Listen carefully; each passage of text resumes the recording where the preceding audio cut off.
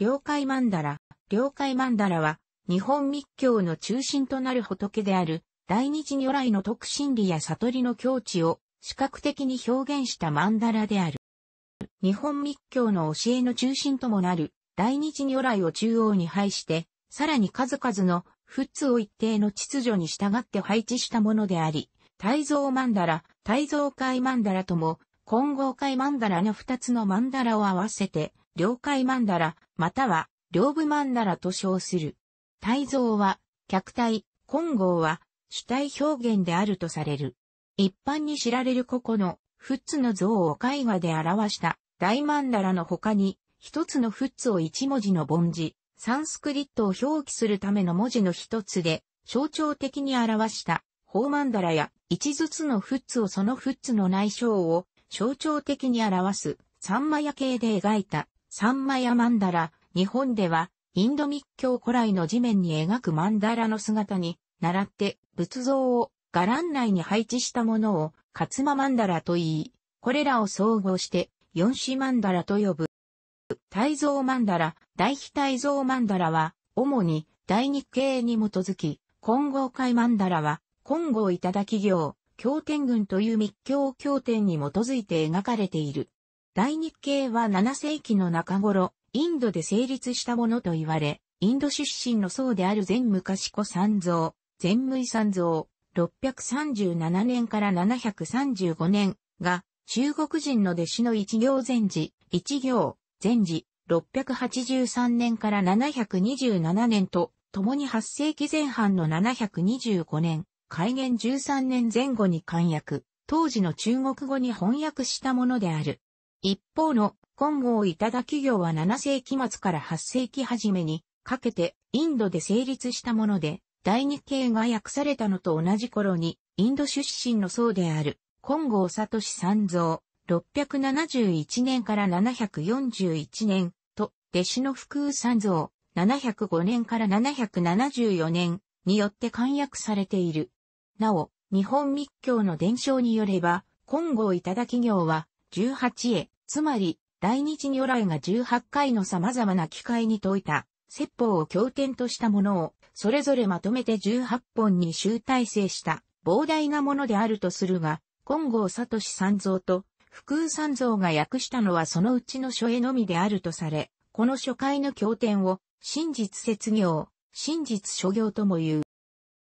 いずれにしても、大日系と金剛頂企業は同じ大日如来を主題として取り上げながらも、系統の違う経典であり、違う時期にインドの別々の地方で別個に成立し、中国へも別々に伝わった。これらに系統の経典群の教えを統合し、領海曼荼羅という形にまとめたのは、空海の死である闘争の経過アジャリ、746年から805年であると推定されている。経過アジャリは、密教の奥義は、言葉では、伝えることが叶わぬとして、宮廷師の李誠に命じて、領海曼荼羅等々を描かせ、空海に与えた。空海は、唐での短い留学を終えて806年、大道元年に帰国した際、それらの曼荼羅を持ち帰っている。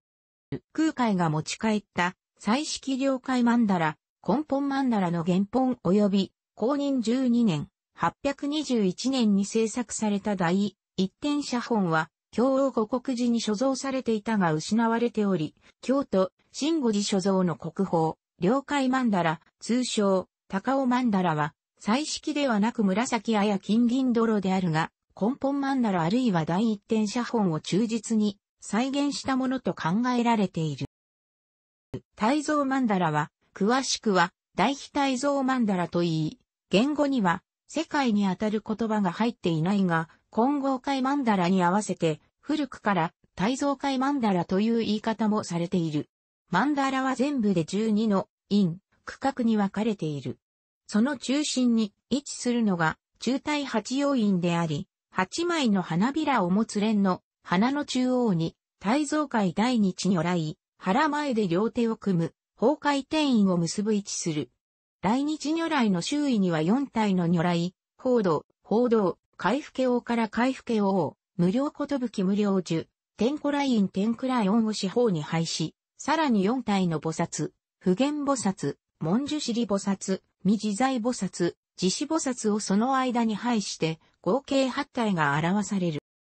なお、通常に本に取り入れられた曼荼羅の故障について、大蔵会、曼荼羅、大蔵曼荼羅の2つが併用されているが、密教学者、ライト三本博士は、曼荼羅の美術、当時の曼荼羅を中心としてにおいて、曼荼の転居となった大日系と金剛いただ企業の、いわゆる両部の応行を意識したものであり、空海もこの用語、中、両部曼荼羅のみを用いている、すなわち、金剛いただ企業には、明確に金剛海曼荼羅を解くのに対して、大日系では、大非大蔵曼荼羅もしくは大蔵性曼荼羅を解くのに、関わらず、大蔵海曼荼羅という表現は見られないからであると書いている。また来富本博士は、円人、円鎮、安年など、天台密教、大密が交流すると、手法のテキストにあたる、次大類の中に、大蔵海という表現が用いられるようになり、領海曼荼羅、大蔵海曼荼羅の語が使われるようになったとする。中大八要院の周囲には、変地院、寺明院、社会院、国蔵院、文殊院、素質寺院、蓮華部院、地蔵院、金剛主院、除外省院が、それぞれ同心延長に巡り、これらすべてを囲む外周に、下金剛部院、またの名は再下院が位置する。これは、内側から外側へ向かう動きを暗示していて、大日如来の抽象的な知恵が、現実世界において実践される様を表現するという。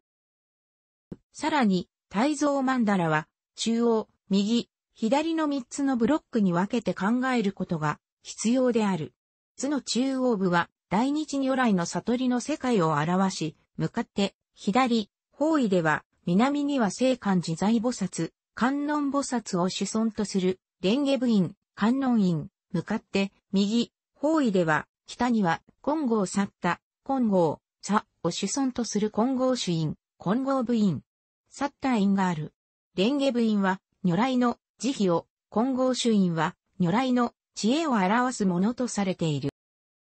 日本で一般的に用いられる金剛界曼荼羅は、金剛いただ企業に説かれる28種の曼荼羅のうち、金剛海品の曼荼羅6種、高産製品の曼荼羅2種に、理修行の曼荼羅を加えて、9回としたもので、上神会、上神へ、三魔夜会、様屋へ、微細会、ミサへ、供養会、四委員会、一委員会、理事会、高産生会、高山税、高産生、三魔夜会の区へからなる。この9回で人のの曼荼羅を構成する手法は、日本密教独自の流儀で、チベット密教では行われない。